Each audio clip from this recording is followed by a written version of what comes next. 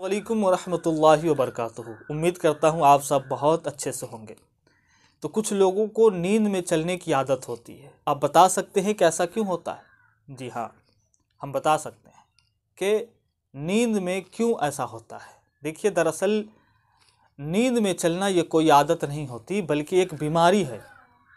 नींद में चलना ये कोई आदत नहीं है, बल्कि एक बीमारी का नाम है, जिसमें चल सोए हुए लोग चलना शुरू कर देते हैं। और इस बीमारी को ख्वाब खरामी जिसे इंग्लिश में सम्बनाबलिज्म कहा जाता है और ये बीमारी आम तौर पर बचपन और जवानी के दिनों में होता है और ये बड़े लोगों में बहुत कम ही पाया जाता है। और जब वो आ, सोए हुए अफराद यानी जो सम्बनाबलिज्म के शिकार है ख्वाब खरामी के शिकार है जब वो सोए हुए हालत में चलना शुरू करते हैं और उस ड्यूरेशन में जो जो काम करते हैं आप जब उनसे सुबह को पूछेंगे तो वो उस काम के बारे में कहेंगे आई डोंट नो यानी, ला अदरी, मैं जानता ही नहीं कि मैंने किन किन कामों को अंजाम दिया है। इसलिए कि वो ख्वाब खरामी के शिकार हुए होते हैं, यानी सम बनाबलिज़म के शिकार हो गए होते हैं।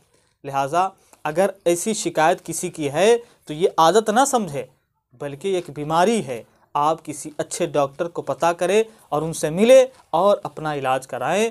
इसमें कोई आदत वाली बात नहीं, बल्कि एक बीमारी की बात है। तो दोस्तों, अगर ये बात आपको अच्छी मालूम हो, अगर आपको ये लगे कि ये बात हेल्पफुल साबित हो रही हो तो आप हमारे चैनल को लाइक कर लें और पहली मरतब विज़िट कर रहे हैं तो सब्सक्राइब करें। मिलते हैं अगले वीडियो में, तब तक के लिए अल्लाह